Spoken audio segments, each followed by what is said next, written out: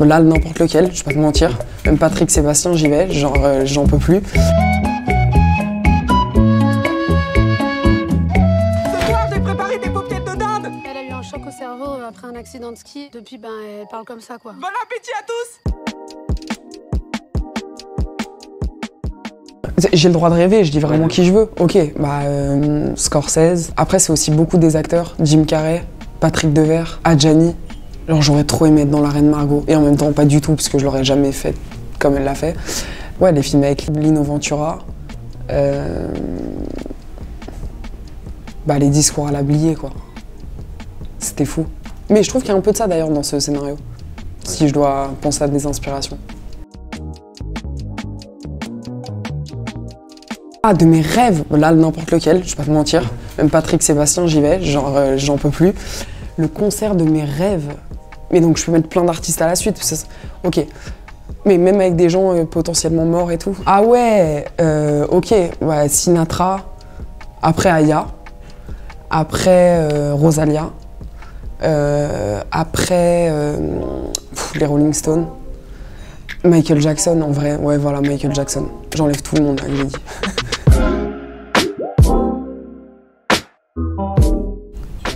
Titanic, moi, il passe toujours.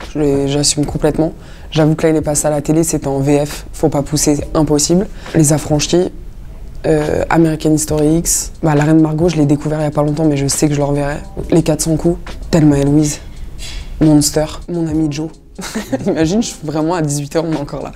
Non, mon ami Joe avec le gorille et Charlize Theron, c'est pas que j'adore, c'est je trouve ça sublime. Euh, et après, j'adore les dessins animés.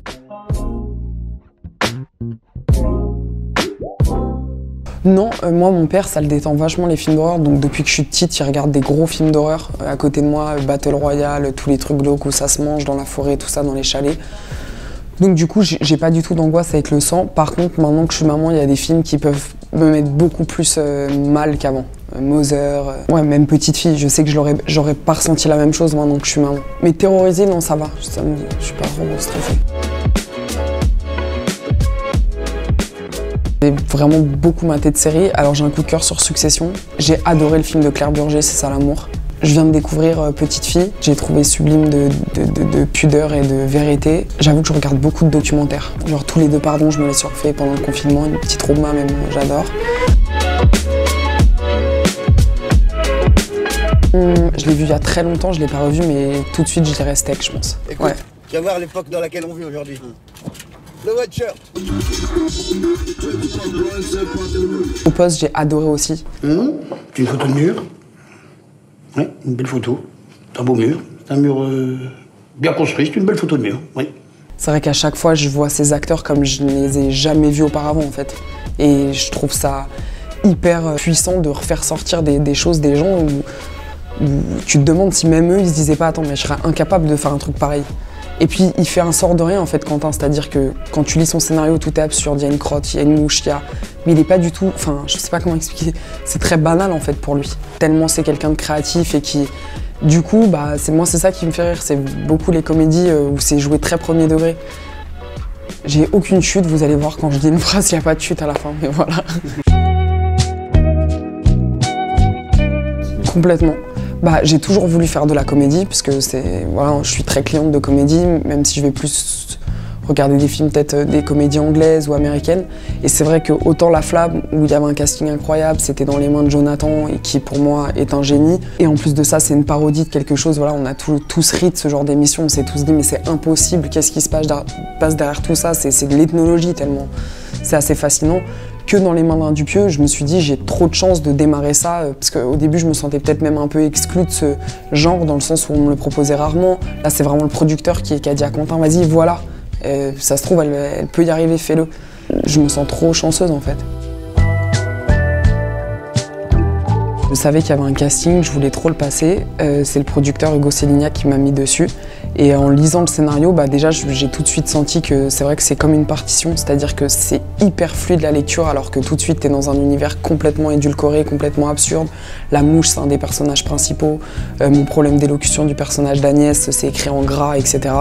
En majuscule, donc il y a quelque chose tout de suite de très précis. Après je suis allée au casting, euh, j'avais trop peur. Et parce que je voulais trop ce rôle, il y avait Quentin, David qui me donnait la réplique et on faisait une scène où je suis persuadée qu'il y a un chien dans la maison. Et du coup, j'ai une crotte dans ma main de chien. Et je vais voir David en lui disant voilà, je, sais quitter, je sais que tu caches un chien, etc.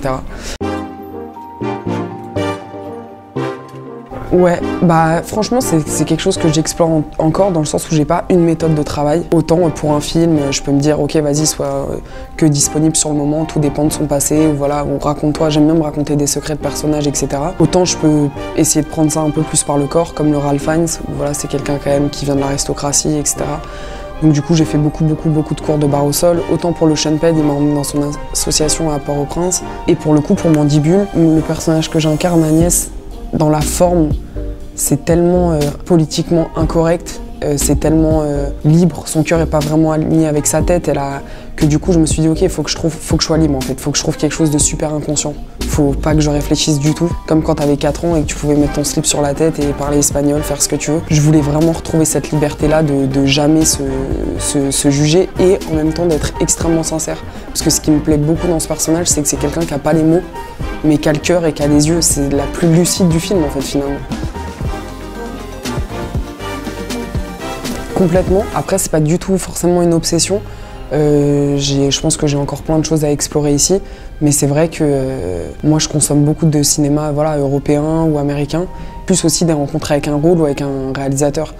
C'est-à-dire que euh, pour le coup c'était inspiré d'une histoire vraie, le Ralph Fiennes et Sean Penn. Bon, bah, Sean Penn, est-ce que vraiment j'ai besoin de développer? C'est fou. Bah, c'était particulier dans le sens où, euh, bah, dans le sens où il y avait très peu de public, euh, il y avait la clim, on avait deux, sièges entre tout le monde, on s'est dit waouh, une comédie dans cette ambiance avec des masques, tout ça, comment ça va être? Finalement, je pense que les gens, ont tellement besoin d'être réunis et de rire et d'oublier un petit peu que du coup, bah, ça s'est super bien passé. Et puis, en vrai, quand tu partages des bonheurs, ce qui est le plus important, c'est avec qui tu les partages. Et en l'occurrence, euh, que ce soit Grégoire, David, India, toute l'équipe, Quentin, c'est quand même. Enfin, moi, je sais que c'est des gens exceptionnels et qu'on s'adore. Du coup, c'était. Franchement, c'était trop bien. Bah, franchement. euh. Ah, au niveau ciné euh, ouais, normalement, si tout se passe bien, euh, je ferai le film de Léa Minicius. C'est le Café Ava, donc je suis trop contente. Voilà, et on- il y a Bac Nord euh, qui va sortir aussi après Mandibule. Donc euh, non, j'ai de la chance et j'espère que les gens vont pouvoir se réunir surtout. J'en étais sûre. Putain, j'aimerais tellement qu'il y ait la mouche avec moi. C'est vrai? J'y ai cru en premier degré, j'allais faire comme ça.